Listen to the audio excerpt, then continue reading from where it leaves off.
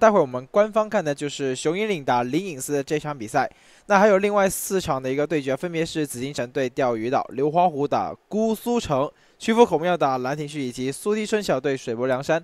那其实大家可以看到，在今天早上蛇入金巴这个比赛里面，已经有强强对决的一个情况了。那大家也是看到有紫禁城打钓鱼岛啊，然后也看到了有熊引领打灵隐寺、姑苏城打流花湖。等等的各种强服的一个对决，其实基本上可以说十六强是没有弱旅的一个情况的。好的，那我们现在看完了十六强的一个对阵情况，再来看一下熊引领以及灵隐寺这两支服务器在昨天比赛的一个情况。两支队伍都是一个四胜一平的情况，都是想想四胜一平十三分，进入到了今天的一个淘汰赛。那么来来看一下这两个服务器的报名阵容以及相关的一些信息情况。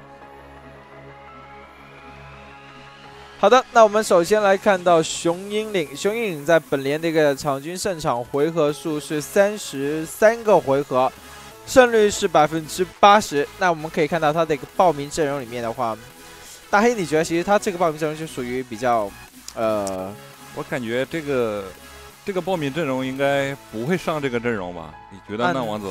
按正常很难说，因为今天毕竟是一个淘汰赛啊。淘汰赛里面的话，这套阵容他们就相当于一个。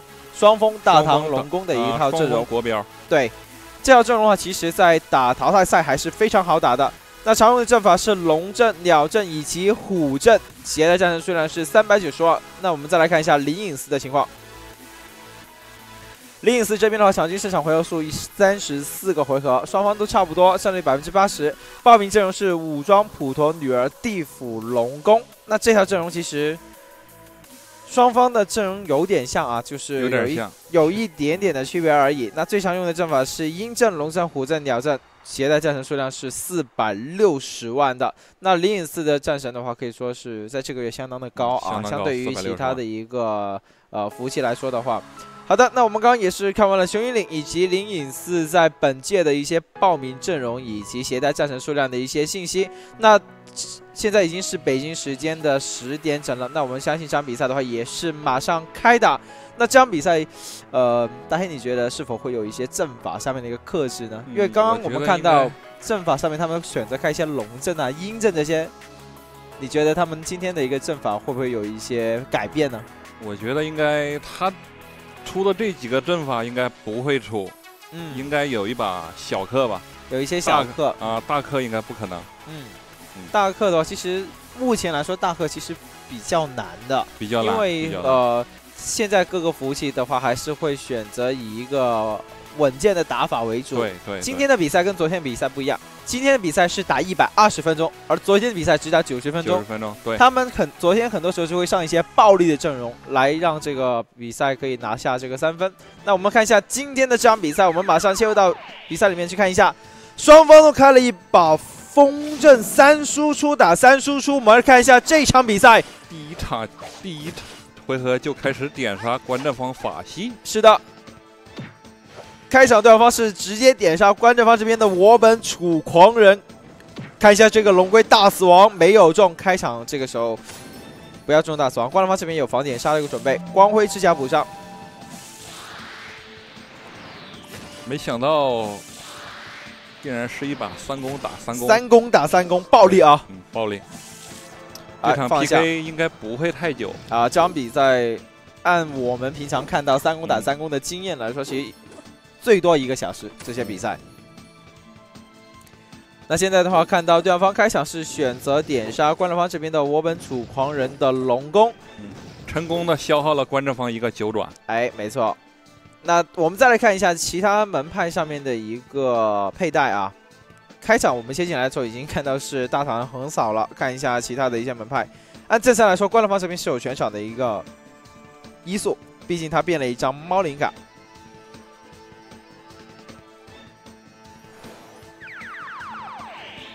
嗯，破甲对战方法系，看一下。小死亡挂中了这一次，看一下观众方这边是龙腾点还是亢龙来点啊？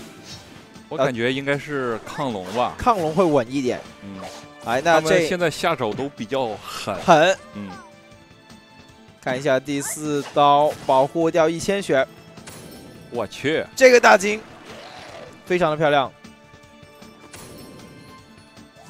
一个龙腾啊，双龙宫龙腾，光辉补一下。哎，对方是观战方大唐，对，还是想要把这个物理因素给稳一下的。那双龙腾的话，对面的龙宫还没有倒地，主要的原因是刚刚卡了一个大金的原因。观战方这边的宝宝的话，好像也没有跟上伤害。王子，你说观战方一速会不会给他来个？呃，落宝金钱，如果要砸的话，嗯，总感觉有点危险啊，总感觉这个龙宫的血量砸不死。他身上有个毒，掉八十八，没有，没有，没有，没有，没有，没有，还是稳妥一啊！地府来黄水之息抓死，这个是可以的，但是对战方同样也是一个反点，反点。破甲给了关龙方这边大唐，双方开场的话三个回合已经点杀了三次。这个大唐必死了，必死无疑。嗯，没有起光辉。观战方大堂目前为止没起光辉。哎呦，这个五龙丹卡的非常的漂亮。这个即使点死了也无所谓，毕竟没中小死亡倒地。由此可以看出，对战方和观战方那个防点杀做的非常好。对，双方其实已经把自己想要的套路已经打完了。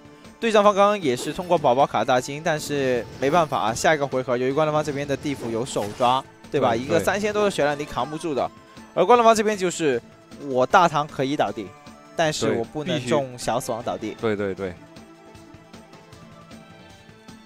这场比赛开场三个回合点杀了三次，看一下这个回合是否还有点杀。普陀拉大唐，地府扔凝滞了，灵智了，还是要把这个物理因素抢一下。双方。嗯现在都是用这些小套路啊！你把我的龙宫给抓死了，我这边也把你的大唐给抓死。这边的话也是中了一个大死亡的，还好关乐方这边他说：“哎，还好你是用地府来抓死我，不抓死我的话，中了一个大死亡再打地那就惨了。”不过开场看到运气还可以，对运气还可以，而且关乐方这边龙宫刚刚的一个四法爆的话也是非常的亮眼。好了，这边火焰伞接起。现在关龙方这边有全场的一个速度优势，看一下普陀这个回合，观战方普陀是全场一速。嗯，双方都是一个普陀地府的一个搭配，也就是说这场比赛已经是应该说近几年来好久没有看到的一套阵容，没有选择上一个风系，全场一个风系都没有。而且法系全场都是龙宫，龙宫啊，这个有点意思。因为之前其实，在奇经八脉调整了之后的话，很多梦幻修的玩家都会说：“哎，那以后五十单不就没有双龙宫了吗？”啊，其实并不是的。嗯，啊，但是我们先继续回到比赛里上面去看一下啊。光辉已经补上了，灌篮方这个回合要点的是大唐，对面的话也是做好了防御措施。看一下观众方点大唐数据。两刀破破蓝，第三刀两千六，第四刀看一下法系的数据，能不能点的死？大唐死之前的话，野兽加出来了。我去，那群秒感觉有点儿，但我感觉群秒看一下有没有法爆吧。没有法爆，没有法爆，有宝宝跟小四海吗？这个小四海的话，可能把这个大唐的生性命给留住了。王子，你说观战方会不会拉几只须弥？观战方拉须弥吗？嗯，因为对战方嗯现在缺两个宝宝啊。嗯，法系倒地，如果大唐再倒地的话，我觉得现在拉须弥其实有点早，有点早，甚至是有一点点赌博的成分。因为因为因为他现在如果拉的话，你场上宝宝五十宝宝都在啊，你现在拉的话。不是说不可以，只不过是五十五十的情况，有好有不好。但我建议接了一把罗汉。对，但我建议还是保证双龙宫取秒就可以了。地府来读，地府是想抓一下速度，还是想把抓速度大唐给抓死？对方方现在肯定要给这个大唐吃一个黑玉云灵膏的，把这个速度给抢回来。龙宫青青，嗯。官方这边龙宫继续保证取秒，龙龟没扛住。这场比赛，官方这边其实变了这个猫灵卡挺灵性的。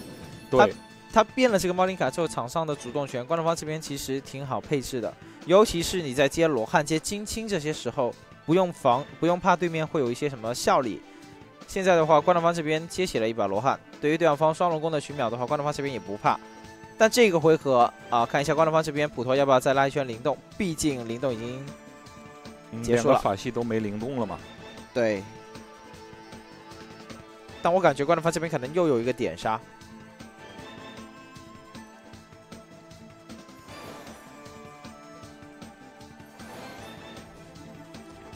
好了，普陀果然把灵动补上。你看，又来点杀了。地府小死亡挂龙宫，我们看一下，看一下这个点杀能否成功？对战方有一把金青，观战方成功浪费了对战方一个九转。哎。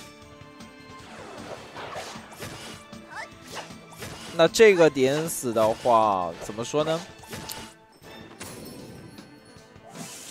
三攻点的话是必死无疑，必死无疑的了。但唯一一个问题就是，关键方这边的小死亡被对面就给清清掉了。那待会这个龙宫拉起来了之后，还是可以继续取秒。对，好多小伙伴们都说打的比较精彩，确实。其实对方方其实。刚刚那个回合，他可以做更多的一些呃保护措施的，主要是这个龙宫是没有宝宝的。对对对，大唐的奇兵八脉里面打呃这个对横扫一个没有宝宝的人物单位会增加它一个暴击率的，所以说的话其实很明显的一个点杀，但是对面没有选择做一个防点杀的一个准备，这些都是一些小细节。嗯。关龙方这边还在抓对面的速度，关龙方这边现在主要的目的就是为了把全场的一个物理因素给稳定在自己手上，所以持续的一个黄泉之息抓大唐，大唐破宝宝神佑，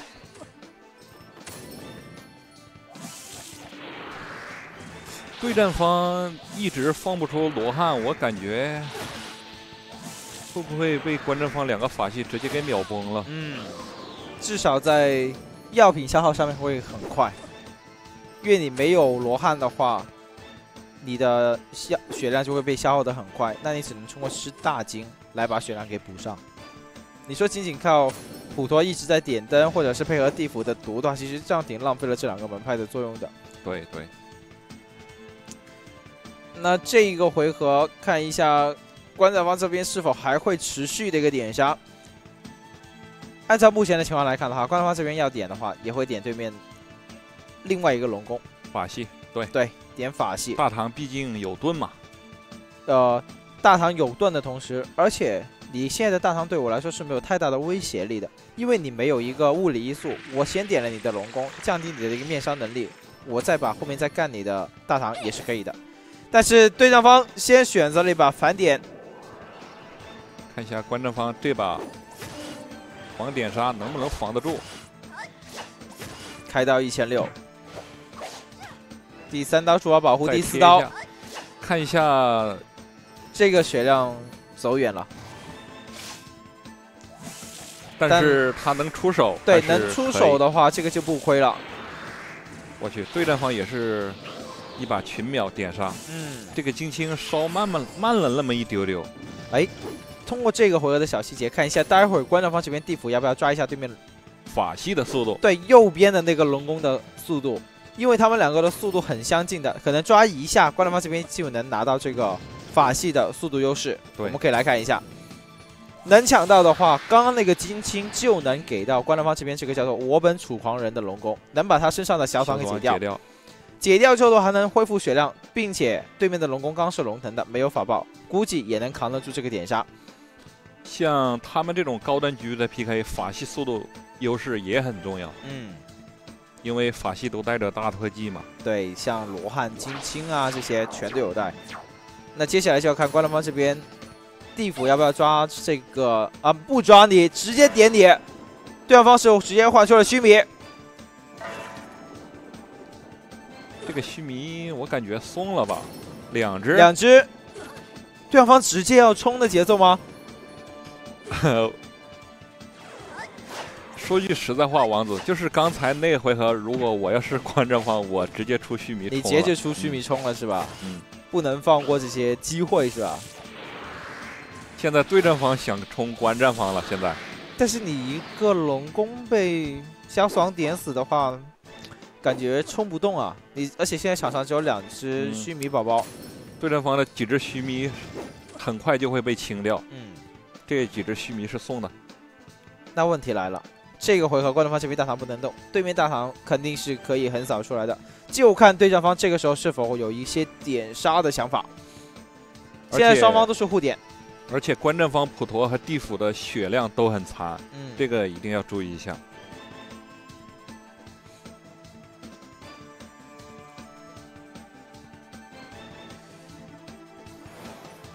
好的，一把纸人，纸人这边地府卡的一个大金。也很虚，流云抢物理因素，大唐踩干将，对方方这么自信吗？你通过这个回合的一个流云之后，你觉得自己下一个回合能有一个物理因素吗？我们大家来来看一下啊，来看一下，因为如果他这个回合不点杀的话，还没有拿到物理因素，其实是挺亏的。再吃一个黑云灵膏，对方是势在必得拿下这个物理因素。须弥宝宝继续取秒，对方方一五号位的两只宝宝，能站多久不确定啊？看今晚观众方这边的宝宝有没有照顾一下他们。对战方起了一把干将的情况下，那么王子，你觉得下回合他会有一个什么举动？你说观战方是对战方？对战方踩了一把干将，如果他有物理因素的话，我觉得他可以直接切了观众方这边的大堂就可以了。先切大唐，因为这是一个不确定的因素。但观众方这边普陀拉起龙宫，地府卡人卡大金，人卡大金。然后对战方的地府选择了一把毒，没有挂小死亡。那大唐应该是清宝宝了，还是宝宝了？长驱观战方的法系，守尸也可以。长驱，长驱四千三，嗯，可以。须弥一刀七千飞走。那看一下龙宫群秒，法爆一千二百九十五，触发了一个法金甲。如果没有触发法金甲的话，关掉方这边这个龙宫已经再次倒地。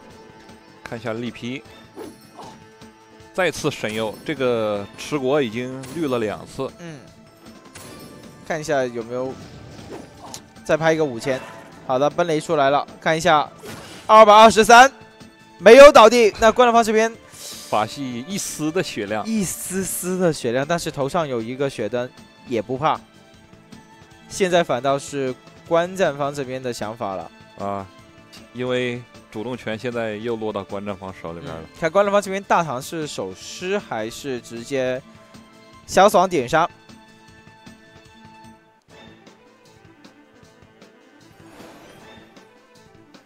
七宝玲珑灯，这个不让你恢复一下血量。无魂给到了对方大堂，防点杀，小死王没中。好了，对面你看，跟我所说的其实挺相像的，对面还是会先选择点观众方这边的大堂，但是观众方这边大堂的速度比较快，直接扫出来了。三刀的是小死亡没有中。对，其实这波点杀对于观战方来说挺伤的。嗯，非常伤，因为你毕竟。小爽，你没中的话，对面龙宫还能保证一个群秒。通过这一个回合的一个呃双方指挥的博弈之后啊，现在感觉啊对战方是有一点点的优势的，主要是这个大唐还站在场上。对战方的话，其实普陀拉起龙宫，再用一个宝宝拉起另外一个没有中小死亡的龙宫，对，对方可以继续保证群秒的。对阵方的一个须弥持国，在神了三次之后，终于是离场了。嗯，哎，二号宝也被清掉。我觉得对阵方现在急需出一波宝宝了。对，宝宝肯定要出了，再不出的话，被关东方这边两个龙宫会秒得很痛。看一下大唐能不能站住，可以。对上方的血量应该跟关东方这边差不多，都是很残的。拉起龙宫，啊，直接取秒。毕竟他已经好多回合没有接上罗汉。嗯。看一下这把关正方零与四是怎么操作。但大家不要忘记，双龙宫也是有点杀的可能性在的啊！不要说大唐倒地了之后，关东方这边就不会点杀。反倒是现在对上方，对上方现在是可以再来一波点杀的。主要原因是因为关东方这边大唐中小死亡倒地，没有人威胁到对方的大唐。如果对方大唐直接切关东方这边的普陀，关东方这边就很可能会崩掉了。看关东方这边普陀，建议你先起个纸人，有纸人的话先起一个或者混元伞。你直接拉灵动，普陀选择刷了一把灵动啊啊！地府罗汉还可以，地府有一把罗汉还能稳住。小爽给到龙宫，看一下这一次对方的一个点杀，开刀一千六。那应该是走远了，对，三刀直接带走了，而且对方还有双龙宫的群秒，看一下宝宝能不能站住。二四号位的两只五号 boy 宝宝没能站住啊，还是直接被清掉。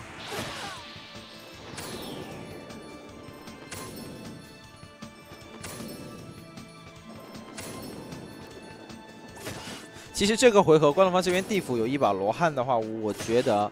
这个普陀可以选择波兰一下，波兰一个法系，对，或者是直接点灯也可以，没有必要直接在地府出罗汉的时候的话也加一把灵动，对。但有可能是关东方这边觉得，呃，稳妥起见啊，还是把这些防御措施做好会稳妥一点。好的，地府再拉出了一只宝宝，怒吼了一下大唐。是的，大唐这个关东方这边大唐这个血量是。站不住的，对面双龙宫还能取秒出来。好的，小死亡解开。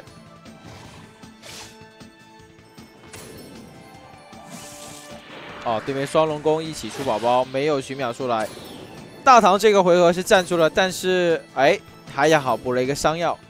如果他不补这个伤药，我在想，哇，那他不就白白亏了一个大金吗？对吧？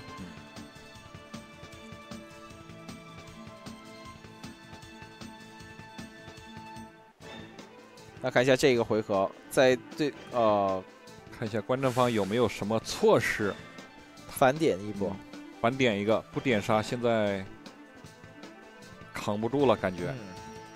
如果要反点的话，观战方这边反点最有可能的是还是点对面的大唐，而且观众方这边肯定是有一个物理因素的，在观众方这边大唐倒地的时候，观众方这边地府有抓过对面大唐。对对。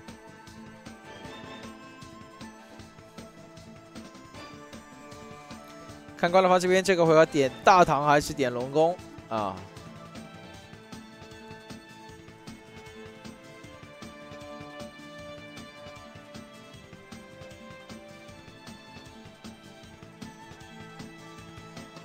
按正常的话，其实呃，你有一个物理因素的话，压一个法系可能会好一点。但是现在的话，大唐毕竟是点杀的永动机啊，还是要先。把他杀掉，哎，点龙宫，但小死亡又不中。我觉得如果今天零与四输了的话，那个地府的小死亡应该要背锅。呃，要背部分的锅。嗯啊，因为每首先点杀伤害肯定是没有问题的。对对。好几把都没中了。对，好几次没有中这个小死亡。来看一下这个开刀一千七，这样的话对方看一下这个龙宫。哇，这个保护掉了四千六百血，我去，我感觉对阵方那个大唐罗汉可以，大唐的罗汉啊，倒地之前的话也是群秒出来了，双龙宫群秒，好的一个龙腾，一千带走，但这个没有中小爽倒地，还是那句话，成功消耗了对阵方一个大一个九转，对。对面待会用一个宝宝来拉起就可以了，而且对面这个回合拉起了一圈罗汉的话，关东方这边就单龙宫，单龙宫取秒的话，也是白白给对面加愤怒的。反倒是对方方待会拉起龙宫之后，双龙宫取秒过来，给关东方这边的压力就很大。关东方这边要赶紧再接起一个罗汉，因为看大家可以看到啊，关东方这边的五只宝宝的血量，这个血量还不一定能够站得住这些宝宝，除非你神佑啊，直接高速来拉起龙宫。对方方应该是有守尸的一个操作的，还原之息，继续抓大唐速度。啊，普陀这个双灯对方方很好，感觉很好啊。你看，这些宝宝就直接压你的尸体，一个强区，这种宝宝都应该是满力破。呃，有点了力破啊，应该是点了力破的。真风的宝宝敲敲人是敲不动的啊，对。真风的话，你只能用来亲宝宝，清宝宝啊，只能用来亲宝宝。哇，这边直接是三个大金给到了这个普陀啊，让这个普陀直接满血卡满。但问题来了啊，观战方这边的地府脚下是有塔的。观战方这边地府放这个罗汉的几率是非常高的，罗汉接起来了啊，观战方这边会稍微好过一点，因为观战方这边三个输出的血量也是非常低，万一对面万一对面的龙宫法爆一下，直接会把带走一个人，对，直接会带走一个人，啊，一速来罗汉，这个是很稳稳健的一个打法，地府来毒，选择毒了一口，回点血量。好的，抓大唐，继续抓大唐。对方有一把金青，哎看一下，大唐彩，关了方这边大唐踩干将了。我去，最假认的宝宝，这是影弓啊！好久没有看到这种宝宝了。影弓，你呃，我还在纠结这个问题，王子，你说影弓是打那个生死诀，还是影弓？我觉得打生死诀就可以了。这种宝宝你就赌他那一下，我觉得就赌他那一下。还有就是昨天我们团队纠结过这个问题，嗯，那个赖须弥他说是打腾挪镜还是崔新浪？如果是我打，我打腾挪镜，我会很变态的这种打法，就很恶心啊。其实这种宝宝，嗯，增加了一下那个宝宝的抗性。对，嗯，对，挺纠结的，可能看那个团队的需求。对，看团队的需求。其实你打崔勋老师也可以啊，但是看整个队伍的一个配置吧。那这边小死亡再次不中，对方的话，我们就当小死亡中了，我们就当小死亡中了吧。啊，小死亡中了，但是被对面金清掉了。那看一下，四千五五五千二，我去，精彩。这个大唐。是前面刷了七煞的效果啊，嗯，对对对，把七煞的效果刷起来之后，这个横扫的话，关龙方这边再加上嗯脚下踩着干将，这个数据也可以理解。对，还有干将，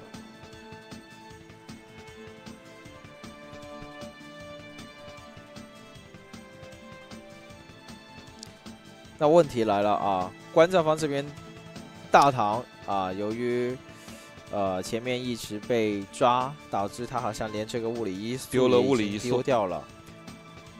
我感觉灵隐寺现在急需一波点杀，点杀，反点的一个机会。你用长驱，长驱接两个龙的龙腾，你也可以点一下。你可以点，也可以尝试点一下。哎，对方的小爽也开始水了，三号位宝直接被清掉。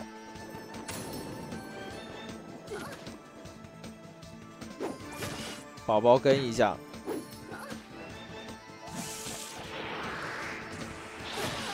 两千六百五，给到了对方大唐。我感觉今天对战方的宝宝绿的比观战方运气稍微好了那么一点点，好一点点，对。但观战方这边其实也也经常能神的，刚刚四号位的宝宝才神完。这边大唐拉起来了之后起了一个没有出宝宝，选择起了一把盾。起盾的原因，因为他没有移速，没有物物理移速，先踩盾，再拉宝宝，或者是你直接防御也可以，但防御也没什么作用双。法系你防对，御双法系你防御也扛不住。个人建议你要不就拉一只宝宝，要么就平砍或者是长驱配合两个龙宫点掉对面一个人也可以。反点吧，现在对战方雄鹰岭场上有两只须弥，一只影弓，嗯，普陀、七指人、地府罗汉，这个回合关东方这边拉宝宝也可以的。无间地狱来了，对面应该冲了吧？对面肯定是要冲的一个节奏了。来看一下，这个宝宝一直在压关东方这边，哇，七千。观战方大唐连抽宝宝的机会出宝宝的都没有。那我还不我那我觉得这个大唐还不如上个回合直接拉个宝宝呢。拉起来之后的话，还直接拉个宝宝出来，比现在你起了个会员伞之后还没办法操作，对吧金青还是慢了一丢丢。还是慢了一丢丢。如果观众方的法系比对战方的法系快的话，这个我在前、我本楚狂人就不会死。对，我记得我好像在十十多个回有有十个回合吗？十个回合左右之前吧，我就说观众方这边地府有空要抓一下对面那个龙法王的，，你抓了一下的话，你这个金星放出来就能照顾到他们了。我去，这什么？观战方的地府反起了一把无间无间，对我我有点没看明白是什么情况。没了没了。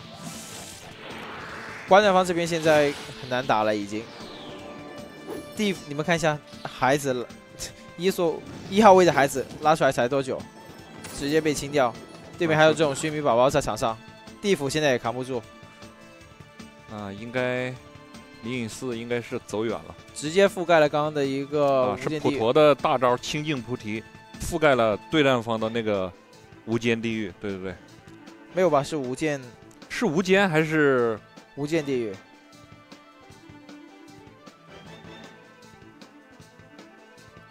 我？反正我先看着是观战房的地府是盖了一把无间，嗯。不过现在，呃，观众方这边已经很难，目前来说，观众方这边已经很难打了。嗯，有的人有的兄弟说指挥差距太大，其实他们这种强服，我感觉好了，小锁给到观众方这边的地府，我觉得大唐不用扫，你看，对方大唐直接啊，平砍关了王这边的大唐，龙宫群秒，差一点点，再一个群秒，双杀。双杀地府和大唐。那么这场 PK 抗龙。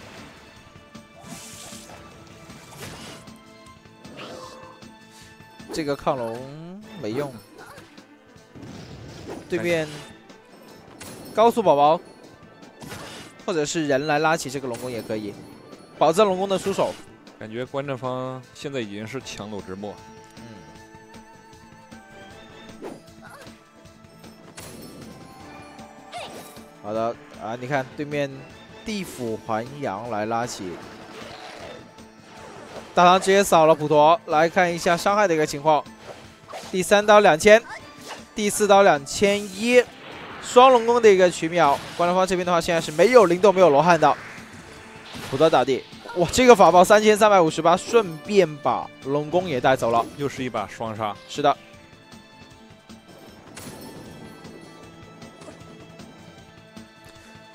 其实没有想到这场比赛会出现一个三攻打三攻的一个情况。最主要的原因是因为我们都可能会觉得十六进八啊，大家可能都会打的个阵容跟我们刚开场的时候看到那个阵容完全是完全不一样啊，完全是天壤之别，对都想迷惑对方吧，我感觉他们，对，刚开始可能还是想说会打得稳一点吧，嗯，对吧？呃，双峰一大唐一龙宫的阵容也有可能，或者是就正常的国标流也有可能，但没有想过是一个三攻打三攻。三公打三公呢，也其实也是跟大家说，现在武神坛上面的一个阵容的多样性是非常好的，大家想打什么阵容都可以，有三锋，对，也有三攻，啊，那同样还有那种双锋双法的啊也会有出现，然后国标流的也会有。好的，那这场比赛的话也是结束了，那我们恭喜雄鹰领获了这场比赛的胜利。那我们再来看一下。